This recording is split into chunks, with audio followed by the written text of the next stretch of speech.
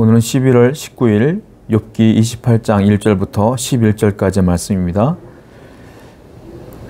사람과 그리고 사물은 거기에 그 얼, 걸맞는 장소가 있는 거예요.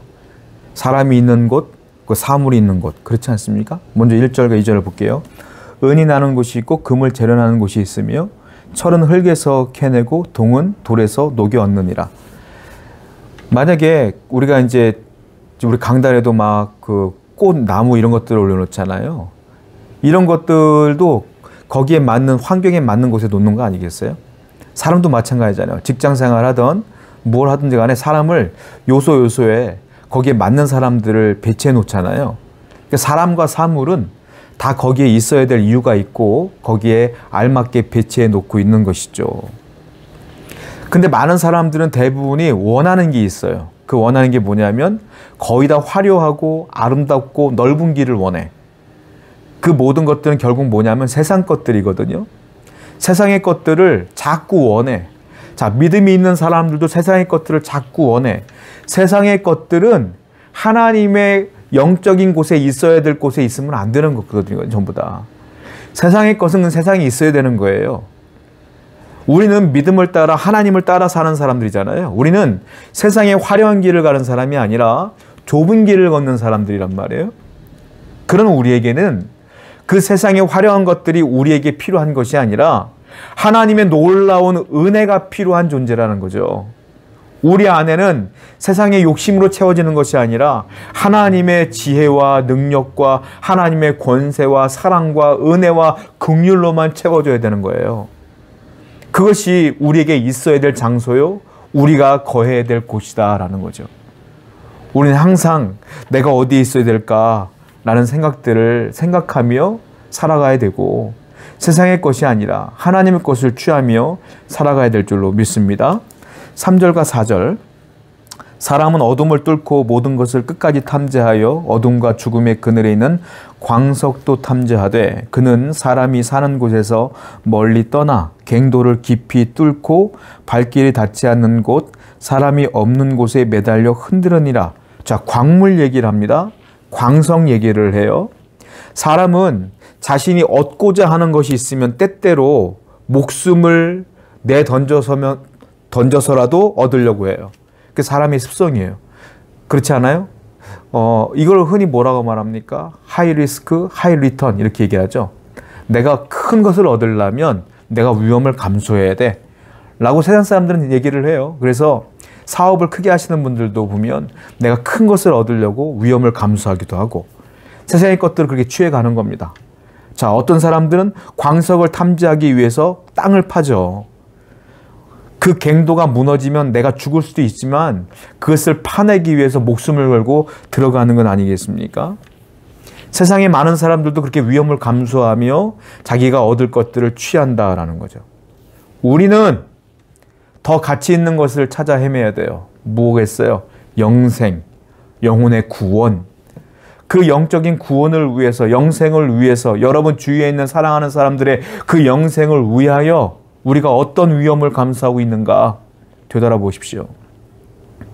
광석을 얻기 위하여 갱도를 파고 땅에 들어가 광석을 채취하는 것처럼 내가 그들의 영혼을 위해서 어떠한 위험을 감수하고 있는가 되돌아보십시다. 우리는 더 가치 있는 것을 추구해야 될 사람들 아니겠어요? 그 영혼의 구원과 영생을 위하여 우리도 더 많은 것들을 위험을 감수하며 복음을 증거하고 애를 쓰고 노력하는 저와 여러분 되기를 축원드립니다. 7절부터 10절 그 길은 솔개도 알지 못하고 매의 눈도 보지 못하며 용맹스러운 짐승도 밟지 못하였고 사나운 사자도 그리로 지나가지 못하였느니라 사람이 굳은 바위에 손을 대고 산을 뿌리까지 뒤엎으며 반석에 수로를 터서 각종 보물을 눈으로 발견하고 솔개도 알지 못하는 매도 눈치 못하는 그 길, 즉 영민하고 아주 그냥 날카로운 감각을 갖고 있는 짐승들도 알지 못하는 길.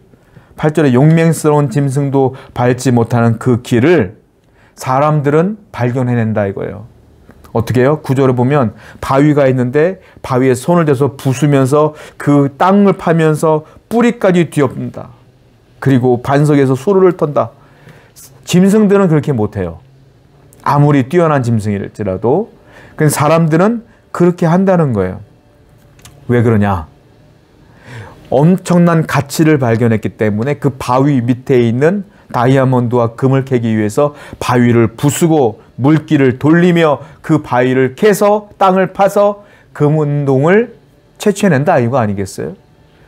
가치 있는 것을 발견한 사람은 그와 같은 노력을 한다는 거죠. 애를 쓴다는 거예요. 가치를 모르면 돌덩이에 불과한 거지만 가치를 알면 그 돌덩이가 다이아몬드가 되는 거 아니겠습니까? 다이아몬드도 탄소 덩어리였잖아요. 그것이 가치를 아는 사람에게는 다이아몬드가 되는 거 아니겠습니까? 그 시간이 흐르면서 여러분 마찬가지예요. 우리도 어떤 가치를 알게 되면 그 가치를 위해서 노력하고 힘을 써야 되는데 우리에게 말하는 건 뭐냐면 영적인 가치를 알아야 된다는 거예요. 하나님의 말씀의 지혜와 명철로 우리가 살아가고 있을 때에 하나님이 주시는 귀한 가치가 있는 것들이 무엇인가를 발견해야 된다는 거예요. 그래서 여러분들은 그 중요한 가치를 알았기 때문에 주일마다 피곤해도 예배당에 나와서 하나님께 예배하는 거 아니겠습니까?